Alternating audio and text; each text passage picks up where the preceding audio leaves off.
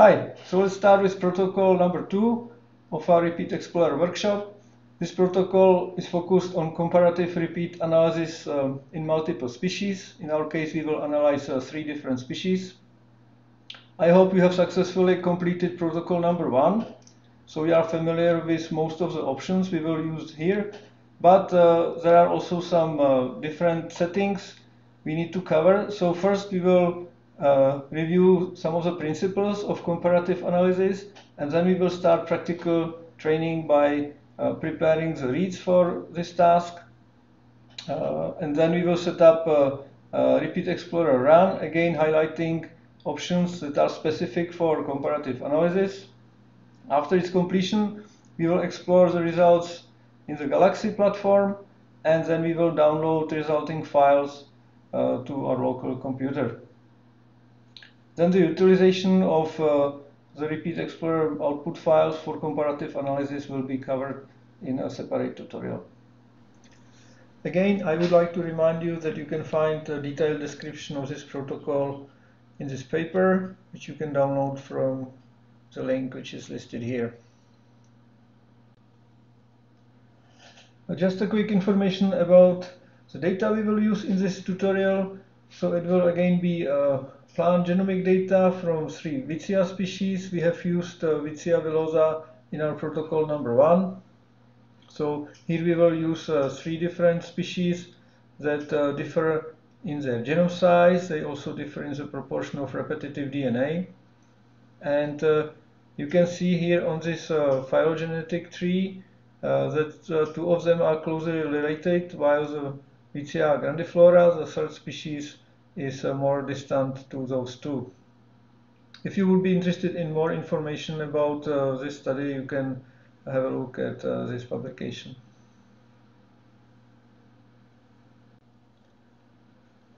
We are going to run a Repeat Explorer in a comparative mode, which is schematically uh, depicted here. Uh, the process of preparing the reads and uh, how the analysis then works. So we have uh, reads from three different species that uh, we will first need to process. So we will modify the read names, the read IDs, uh, to include uh, species-specific tags there that are later on in the during the analysis used to identify the origin of the reads. Uh, we will do it separately for reads from these three species. Then we will merge all reads into one data set and this will be subjected to uh, the repeat clustering. So we will submit it into the pipeline using a species-specific tags uh, in the read names. The pipeline can then determine uh, the proportion of reads uh, in each cluster that come from different species. And this is very useful and important information because you know that the reads are sorted into clusters based on their similarities so individual clusters here represent the same type or the same family of repeat uh, with the representatives from different species, which is very useful information. So you can see that you can have clusters with reads from all three analyzed species, but also clusters where there are only two species represented and also species-specific clusters. A very important consideration uh, when you are setting up this analysis is uh, how many reads from each species actually should be put together and analyzed. So there are two options. You can either use uh, equal number of reads from all species. So this is something which is shown here, which is easier to implement and it's relatively good for comparing large numbers of uh, species or large numbers of samples. Uh, the problem is that uh, if the species which are analyzed uh, differ a lot in their genome sizes, so then using the same number of reads from each will result in uh, different sensitivity or different representation of uh, repeats from these species. The other possibility is to use a number of reads that represent the same genome coverage. So for example, we can analyze 0.2x coverage uh, for each species which is uh, preferential because it provides the same sensitivity.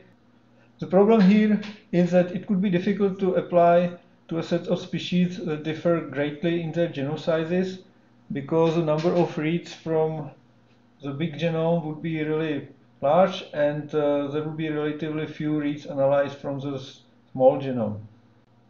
So for this approach you also need to know the genome sizes which could be problem in some species where you would have to perform a genome size measurements.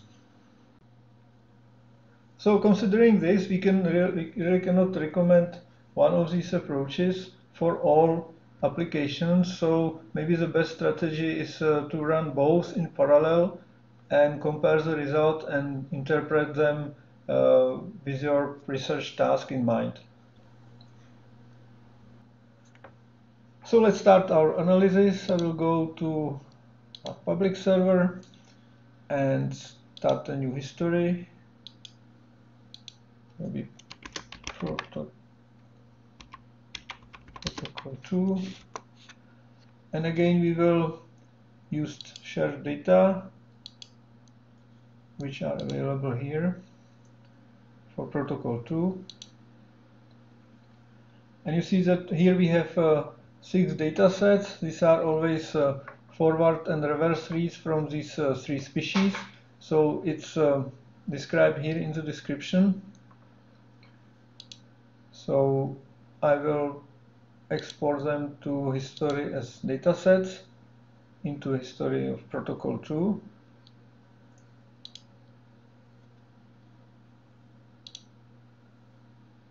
and here we are so unfortunately we don't have uh, this uh, species codes written here but uh, you can uh, see the description uh, for each dataset here so what is maybe a good practice if you are running some more complicated analysis that at least in some data sets you would uh, actually label these items in the history by the species code. So you can do it uh, like this.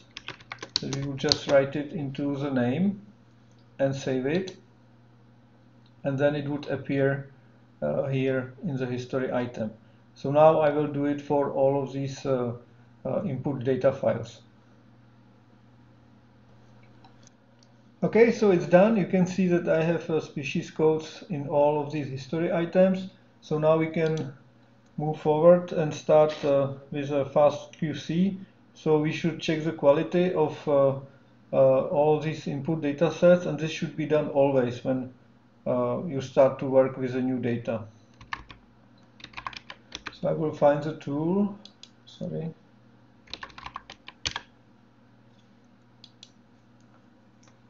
and we will select all these data sets to be analyzed uh, in parallel. Again, I will not change anything here and I will just execute.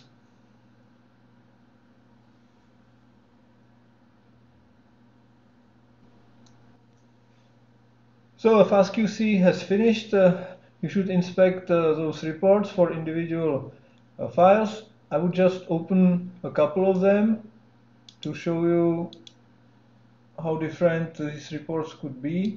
So here we have a quite good uh, data set. The read quality is good and also uh, this uh, per base sequence content uh, looks fine. On the contrary, uh, in this one, you can see that uh, the read quality is not so good, so it declines uh, relatively rapidly, but uh, most importantly, uh, here we see the indication of a contamination of reads by adapters. So we have covered FastQC reports in the protocol 1 tutorial, so I will not go into any details, but uh, this is a typical example of, uh, of a contamination by adapters. So as we discussed before, this problem could be uh, removed uh, during the read preprocessing and you can see here that we have uh, quite a lot of uh, reads it's over 13 million of reads so there is a really a good chance that after we do a read preprocessing and remove uh, bad quality reads and remove those that uh, contain adapter sequences, uh, we will end up with a sufficient number of reads for the analysis. So let's do it. So here we select uh, a tool from Repeat Explorer utilities, uh, preprocessing of FASTQ pair and reads. And uh, we need to do this uh, for individual pairs from different species. So I will start with, uh, with forward reads for Vicia cracca. So we have these codes here, which is really useful. And the second in the pair is, uh, is this data set. So then we will not do any resampling. We will keep these values um, as they are. We will do the read trimming to ensure that all reads are full length. So any read that would be shorter than 101 will be removed. And uh, we will keep the other settings uh, in their default state and do the execute and because now we need to process uh, uh, two additional uh, pairs of uh, read files. So we can do again you know, the same thing using this form but we can also uh, do it in the simpler way. So if we want to in the galaxy to redo some analysis you can just use this uh, button run this job again. So it will give you the form with exactly the same values filled like was used for this analysis but here we will just switch the input files. So now I change it to Vicia grandiflora files forward and reverse and execute and I will do it once again for the last species which is Vicia villosa and run it. Okay, now that we just need to wait until the reads are pre-processed and we can continue. So we have uh, output files ready. Please notice that uh, there are these species codes again, but uh, they were not generated uh, automatically by Galaxy. I edited these items in the history, uh, so we again have uh, these codes present for further processing, which makes it much easier. So for each uh, pair of uh, preprocessed reads, we have uh, one file where these reads were interlaced. So you can check it here that we have uh, always forward and reverse read uh, from the same template and the read names were changed to these numerical names. And very importantly, we have a report of the nucleotide composition after filtering. And uh, this is very important to check in case uh, you have uh, bad read quality or adapter contamination uh, as we had. So you can see that now these lines are pretty smooth. And if we compare it to how it looked uh, for this species, for Vicia cracca before, which I believe was this item. So, okay, so this is a profile before preprocessing with a lot of uh, adapter sequences and all these reads were uh, detected and discarded and we ended up with uh, uh this uh, good quality. So we can also check how many reads remained and uh, this is really still a lot. So uh, we should inspect also the other grandiflora and uh, villosa all of them look fine.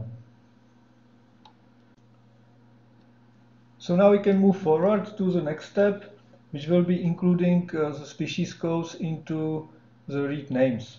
So for that we will again go to repeat explorer utilities and pick the tool which is called FASTA rename affixer and uh, this tool allow us to modify the read IDs in this way. So for example, we start with uh, numerical IDs and we can add some prefix and suffix to this ID for all the reads within the dataset. So we will just add a prefix which will be the species code. Uh, to put you into a context, let me show you uh, a slide which we viewed, viewed before. So now we are going to uh, perform this step where we will modify the read names to distinguish them later on during the analysis and then in the subsequent step we will merge them into one file.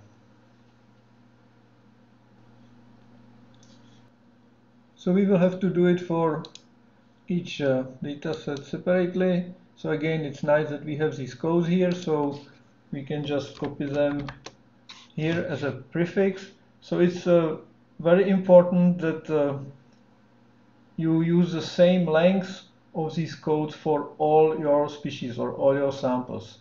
Yeah, it has to be equal. So it could be of any length, but it should always be the same for all data sets which are then going to be merged. And you will see later on why that uh, when we will set up the comparative analysis uh, of Repeat Explorer. So, Vicia cracca is here. I will not do anything here because like these spaces in the name, these are for more, co more complicated uh, uh, structures of the IDs which we don't have and I will execute it. And the same thing I will do for other two. So I will pick uh, Grandiflora and change it.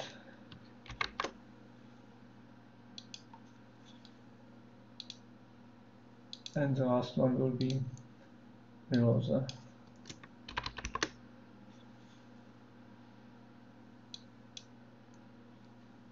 Okay, should be relatively fast.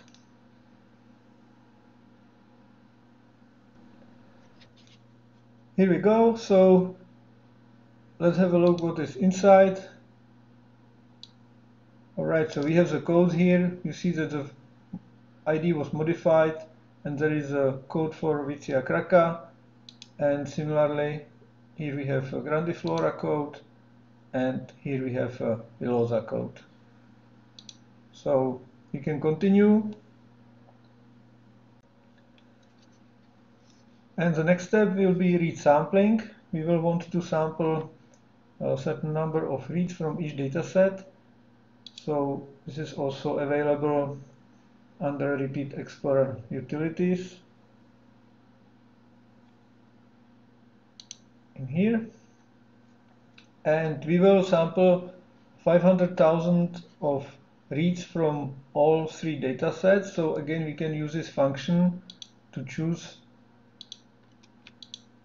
three of them.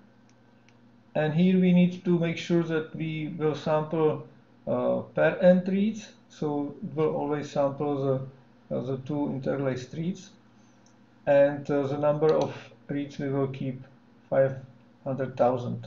So the sampling is random uh, but is reproducible with the same data set if you use the same random number generator seed. So this is why this uh, uh, number is listed here. But you don't need to do anything with it, uh, just uh, uh, keep it as it is. But if you will change it, you will sample a different subset of reads from the same data set. Okay, so I will execute it.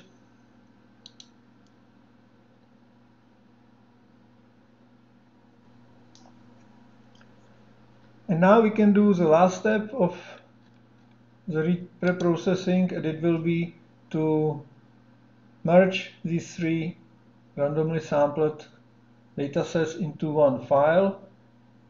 And for that we will use a text manipulation concatenate dataset and uh, we will select one by one these three sampled datasets and execute.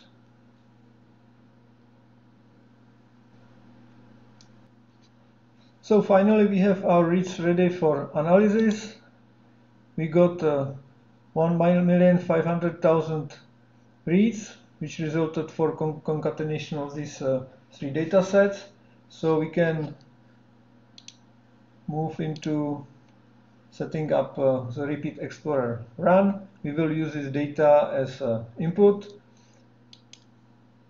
We need to have a pair entry selected and we will not do resampling because we have already done it. But we have to go to advanced options to indicate that we want to do a comparative analysis and here is a length of uh, uh, of the codes in, in the reads. So again, it's important that uh, all data sets have the same uh, length of this code and uh, this will be used by the pipeline to discriminate reads from different samples. So we can leave the other parameters in their default values, but again we have to uh, select the queue which provides more hardware resources so we will select this long queue and we can submit the job for execution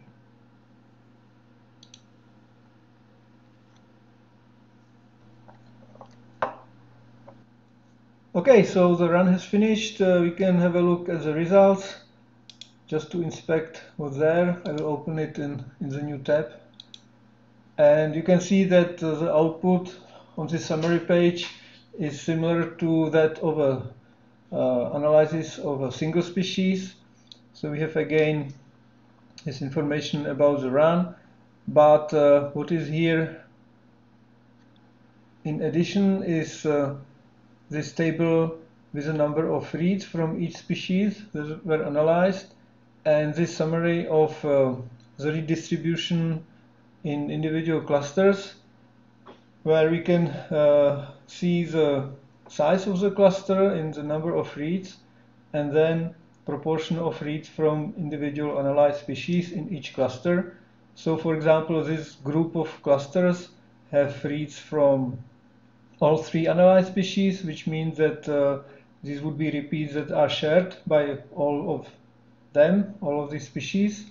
While for example, these clusters they are made uh, only by reads from Vicia cracca, so these are uh, species specific, specific repeats. However, we will analyze this in more detail in the next tutorial, which will be focused on using this information for repeat quantification and annotation. So the last thing we have to do in this tutorial is to download uh, the analysis archive again. So I will do it by clicking on this icon and save it and then we can wait until it's downloaded and in the next tutorial we will continue with repeat uh, annotation. So again as in the case of uh, the first protocol if you are in doubt or if you had any problem with the execution and you would like to compare of what you did to the history which is finished and which was shown here you can import it into your account from shared data histories and then you would import this uh, protocol to completed history Thank you very much for your attention and good luck with the training.